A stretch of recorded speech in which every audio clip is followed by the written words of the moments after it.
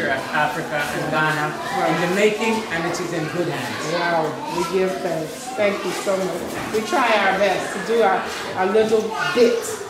Yes. It's a lot. Another teacher extraordinaire. Yes, my name is Harold Roberts. I'm from Cincinnati, Ohio. I've taught as a elementary school teacher for 12 years. And I want to let the African Americans who are not here, who would possibly come here, that the Africans are ahead of you. You need to come here and vote.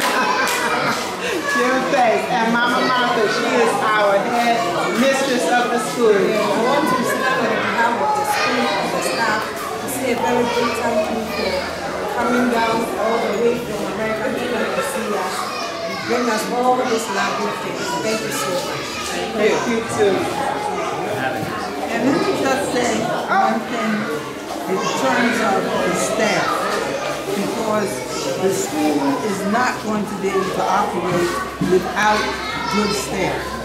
And I must say for these staff people who have stayed with us through months of not being paid because there was no money, they did not leave us. They stayed with us until money came to pay them. Dedication. De- Dedication. They did not slack up on how they taught the children, and they have been there through thick and thin. So I just want to say that to Mama and the rest. They have been there on the case for us. The other thing I want to say to Mama Shakesha, that my brother here has made the first commitment of 5,000 Ghana cedis towards the campaign for our bus. Ashe. Oh, but that's the papa. Thank you so much, my brother. You don't know how much that means to us. Oh, we know this brother is just giving one thousand dollars.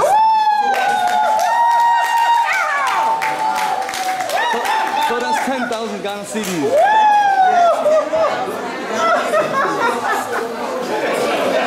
Wow, wow, wow. You feel my heart. You feel my heart. You feel my heart.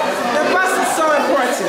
I was going to say that we do lose students because the parents find it difficult to bring their children here.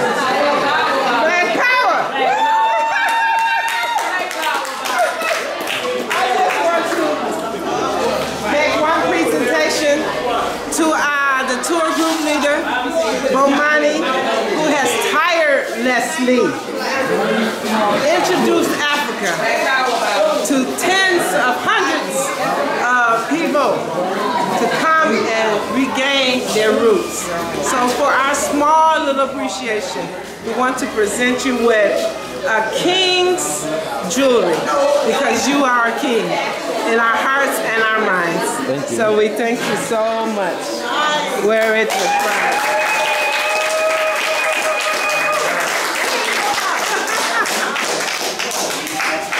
Thanks to all of you. All right, family. Appreciate everybody. And Thank you much. Thank you all Thank you so, much, and so family. very much. That is the donation, financial donation. All right.